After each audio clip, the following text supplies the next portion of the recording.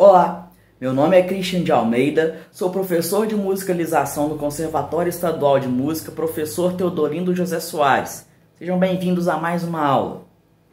Hoje nós vamos falar sobre os valores.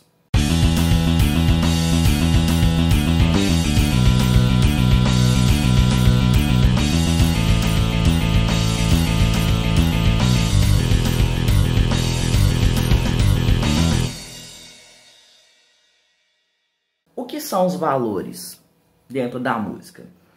Os valores serão as figuras que nós iremos utilizar para representar o tamanho, ou seja, a duração de cada som e de cada silêncio. Porque na música também é importante ter silêncio. Nós temos valores positivos e valores negativos. Os valores positivos nós chamamos de figuras e os valores negativos são as pausas. As figuras representam o som e as pausas representam o silêncio. Então vamos aprender quais são essas figuras e quais são essas pausas. Vamos começar pelas figuras que são mais usadas, pelas figuras e pausas mais usadas. Nós vamos ver em cima a figura e o nome dela, e logo abaixo a pausa correspondente. Eu vou deixar dois modos de representar a pausa, tanto fora da pauta e quanto dentro da pauta. Então, Primeiro nós temos a semibreve. A semibreve terá o maior valor. Então temos a semibreve e a pausa equivalente. Som e silêncio. Logo depois da semibreve, nós temos a mínima, que vai ler a metade da semibreve. Nós vamos ver mais adiante sobre esses valores. Mínima valendo metade da semibreve, em cima temos a figura, embaixo nós temos a pausa. Logo depois da mínima, nós teremos a semínima. Então, semínima, pausa da semínima. Depois da semínima, vem a colcheia. Depois da colcheia, semicolcheia. Depois da semicolcheia, a fusa. E por último, a semifusa. Se vocês analisarem bem esses nomes, vocês vão perceber algo em comum. Vamos começar aí começando pela semibreve e depois nós temos mínima, depois semínima, colcheia, semicolcheia, fusa, semifusa. Uai, todas, a maioria está vindo com o nome semi, mais o nome anterior.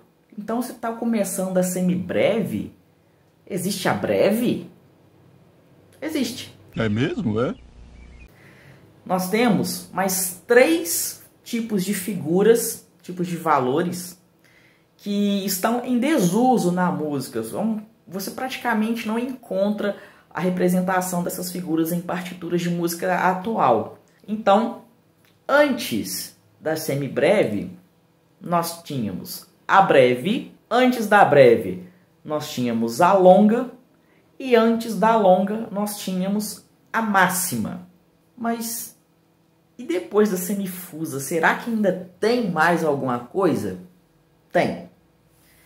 Nós temos a quartifusa ou tremifusa. Ela é uma figura que a gente praticamente também não encontra representada em partituras musicais, por ela ser uma figura de um valor muito pequeno. Ao observar esse, esse quadro, vocês vão perceber que ele está por ordem, vamos dizer assim, que por ordem de tamanho, da maior figura com a maior duração até a figura que pode representar a menor duração. Para saber melhor sobre a duração de cada figura, é, em cada compasso, quanto que vai valer cada figura, nós ainda teremos a aula sobre operações com compasso. Cada figura pode ter desde apenas uma parte até três partes. Então vamos ver quais partes são essas. Vamos pegar a colcheia como exemplo. Essa parte redondinha da figura nós chamamos de cabeça. algumas figuras só têm cabeça. Nós temos também esse pauzinho. Alguns alunos falam que é graveto, eles costumam brincar que chama gravetinho. Não. Não! Isso daí se chama haste. E esse outro rabinho aí que vocês estão vendo, ele se chama colchete ou bandeirola. Então, o nosso quadro, desde a semibreve até a semifusa, todas as figuras têm cabeça. Desde a mínima até a semifusa, todas as figuras terão cabeça e haste. E desde a colcheia até a semifusa, todas as figuras vão ter três partes: cabeça, haste e colchete. Mas como que a gente posiciona essas hastes e esses colchetes? Existe uma forma correta? A gente pode colocar de qualquer forma na pauta? Não, existe uma forma correta que a gente deve obedecer. Então vamos começar pelas hastes. As hastes, quando estiverem voltadas para cima, elas devem ficar sempre do lado direito da cabeça da nota. E quando elas estiverem voltadas para baixo, elas devem ficar sempre do lado esquerdo da nota. Vamos ver como que isso vai ficar da nota, da figura, desculpa, como que isso vai ficar dentro da pauta. Então nós temos aí as figuras com haste da primeira até a terceira linha da pauta. As hastes são do lado direito e viradas para cima. A partir da terceira linha, as hastes são do lado esquerdo, voltadas para baixo. Observe então que na terceira linha a haste da figura pode ficar virada tanto para cima ou para baixo. Isso vai ser conveniente para a pessoa que está escrevendo a partitura no momento. Mas Christian, e quando a figura, a nota estiver nas linhas suplementares, como que a gente vai colocar a haste? Nós vamos prolongar a haste até dentro da pauta dessa forma aqui, ó. Agora o lado correto de usar os colchetes. Essa é a regra mais fácil. Eles vão ser sempre virados para a direita. Não importa se a haste está do lado esquerdo, se ela está do lado direito, o colchete vai ficar sempre para a direita, dessa forma aqui. Existe uma outra forma de escrever na partitura as figuras que tem colchete. Imagine que você está executando uma partitura e aparecem logo de cara 20 semicolcheias. Nossa, que confusão para ler isso tudo. Como que a gente pode minimizar esse efeito? A gente pode usar o que nós chamamos de barra de ligação. Então vamos pegar aí um exemplo de duas colcheias. Nós vamos uni-las com a barra de ligação. Se a colcheia tem um colchete, então nós vamos utilizar duas barras. A semicolcheia vai ficar com duas barras, pois a semicolcheia tem dois colchetes. Já a fusa, que tem três colchetes, vai ficar com três barras. Então a semifusa, se ela tem quatro colchetes, ela vai ficar com quatro barras. Isso só pode ser feito quando a gente tem mais de uma figura da mesma unida.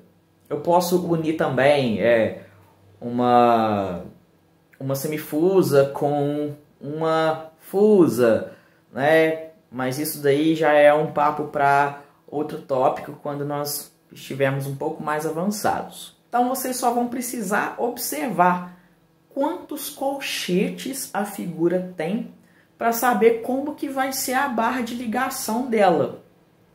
Quantas barras de ligação vocês vão usar? Lembra que nós organizamos as figuras por ordem de tamanho? Vocês lembram qual era essa ordem? Hum? Pensa um pouquinho. Pensou? Semibreve, mínima, semínima, colcheia, semicolcheia, fusa e semifusa. Então, a maior figura é a semibreve, a menor figura é a semifusa. Mas por que, que isso é importante? Por que, que isso é relevante de saber? Cada figura ela tem uma duração, um tamanho específico. Vamos fazer uma divisão binária, ou seja, dividir de duas em duas cada figura. Começando pela de maior valor, que é a semibreve. Então, se eu dividir a semibreve no meio, se eu dividir a semibreve em duas partes, que figura que eu vou ter? Eu vou ter a figura que vem logo depois da semibreve. A figura que vem depois da semibreve é a mínima. Então, se eu dividir a semibreve ao meio, eu vou ter duas mínimas. Mas e se eu continuar dividindo e resolver dividir a mínima em duas? Que figura que eu vou ter? Eu vou ter a figura que está depois da mínima, que é a semínima. Então, uma mínima, duas semínimas. Então, isso quer dizer que dentro de uma semibreve cabem quantas semínimas? Bom, se uma semibreve é igual a duas mínimas e uma mínima é igual a duas semínimas, então Dentro de uma semibreve cabem quatro semínimas. Vamos continuar subdividindo. Então nós temos uma semínima. Se nós dividimos ela ao meio, nós teremos qual figura? Colcheia, porque a colcheia vem depois da semínima. Então, uma semínima é igual a duas colcheias. Se subdividirmos a colcheia ao meio, nós teremos a semicolcheia. Se dividirmos ao meio a semicolcheia, nós teremos a fusa. Então, quantas fusas eu vou ter aí? Duas fusas. Só subdividir. Se dividirmos a fusa ao meio, uma fusa ao meio, quantas semifusas nós teremos? Nós teremos duas semifusas. Então, este quadro nós podemos dizer que ele é uma divisão binária dos valores, porque está dividindo ele de dois em dois. Então vamos ver como que a gente vai conseguir calcular quanto de uma figura cabe dentro da outra de uma forma mais fácil. Nós vamos numerar as figuras da maior para menor. Ah, então isso quer dizer, Christian, que a semibreve vai ter o maior número, não é? Não. Não semibreve vai ter o menor número e vocês vão entender por quê. É, tá bom. Vamos colocar o número 1 aí debaixo da semibreve. Uma semibreve, hum, uma semibreve vale quantas mínimas mesmo? Vocês lembram quantas mínimas cabem dentro de uma semibreve? Duas mínimas. Então, o número que vai ficar debaixo da mínima é o número 2. É, vocês lembram quantas semínimas cabem dentro de uma semibreve, lá naquele quadrinho colorido que a gente viu? Quatro semínimas. Então isso quer dizer que o número que vai ficar debaixo da semínima é o número 4. Eu acho que agora já dá para vocês descobrirem quais são os próximos números. Eu vou dar uma pausa para vocês, para vocês pensarem um pouquinho aí e tentar ver quais serão os outros números. Dois mil anos depois. Pensou? Vamos ver se vocês acertaram. Se debaixo da semínima nós temos o número 4, debaixo da colcheia nós teremos o número 8. Se debaixo da colcheia tem um 8, da semicolcheia terá o 16, da fusa o 32 e da semifusa o 64. Mas como que o Christian fez esse cálculo? Meu Deus! Calma, vocês ainda vão entender. Ah, vá, é mesmo? Eu vou chegar nesse cálculo para vocês. Vamos continuar com os valores das figuras. Christian, então quer dizer que a semibreve ela sempre vai ser a figura de maior valor, não é?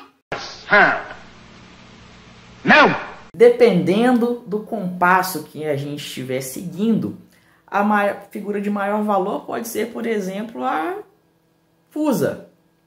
Isso tudo é relativo. Quando nós formos aprender operações com compasso, nós iremos aprender qual vai ser a figura de maior valor dentro de cada compasso, mas ainda não é o momento. Então, vamos descer essa linha numérica aí. Ao invés do número 1 ficar debaixo da semibreve, agora ele vai ficar na figura lá, ó, do lado da semibreve, na figura que vai valer metade da semibreve. O número 1 está debaixo da mínima agora. Nós vamos continuar numerando da mesma forma que numeramos essa primeira carreira numérica. Então, número 1 debaixo da mínima, número 2 na semínima, número 4 na colcheia, número 8 na semicolcheia, número 16 na fusa e número 32 na semifusa. Quantas semínimas cabem dentro de uma mínima? Hum, para que, que vão servir esses números? Hum. Quantas semínimas cabem dentro de uma mínima? Nós temos uma mínima. Do lado nós temos qual número, qual figura? Semínima. Qual é o número que está debaixo dela? Número 2. Então, dentro de uma mínima nós temos duas semínimas. E uma mínima tem quantas colcheias? Então vamos até a mínima, acho o número 1 um debaixo da mínima. Agora vai até a colcheia e acha o número que está debaixo da colcheia. Uma mínima tem então quatro colcheias. Descemos mais uma vez a fileira numérica e agora o número 1 um encontra-se debaixo da semínima. Então agora a semínima é a figura de maior valor. Quantas fusas cabem dentro de uma semínima? Vão na semínima, acha o número 1 um debaixo dela, vai na semifusa e procura o número que está na mesma fileira do número 1 um da semínima. Que número é esse? Então, dentro de uma semínima, nós temos oito fusas. A fileira numérica desceu mais uma vez e agora a figura de maior valor é a colcheia. Então, o número 1 um agora ele vai ficar debaixo da colcheia. Então, uma colcheia tem quantas semifusas? Pensa. Vamos calcular. Pega o número 1 um lá debaixo da colcheia, vai até a semifusa, na mesma linha que está o número 1, você vai encontrar quantas semifusas cabem dentro de uma colcheia. Quantas semifusas? Oito semifusas cabem dentro de uma colcheia. Então nós vamos reduzindo essa fileira numérica até chegar no número 1. Só tem um número na fileira numérica. Então é assim que vai ficar este quadro de valores. Christian, você ainda não explicou calculou estes números. Agora entra a matemática. Vamos ver quem que é bom de matemática. Ó, da esquerda para a direita, nós vamos multiplicar por 2. Então, quanto é que é 1 vezes 2? 2. Ah lá o 2 lá debaixo da mínima. Quanto que é 2 vezes 2? 4. Ah lá o 4 debaixo dessa mínima. E assim por diante. Como que a gente faz ao contrário? Se a gente quiser saber, por exemplo, 16 fusas valem quantas semínimas? A gente vai fazer ao contrário. A gente vai andar da esquerda para a direita. A gente vai dividir por 2. A gente vai encontrar o número 16 lá na fusa. E a gente vai até o número 1 lá na semínima. Então, resumindo, da esquerda para a direita, a gente multiplica por 2 da direita para a esquerda, a gente vai fazer o oposto, a gente vai dividir por dois. Chegamos ao fim da nossa aula, espero que vocês tenham gostado. Qualquer dúvida, manda pergunta nos comentários que eu vou responder assim que possível. Curtam esse vídeo, compartilhem e até a nossa próxima aula.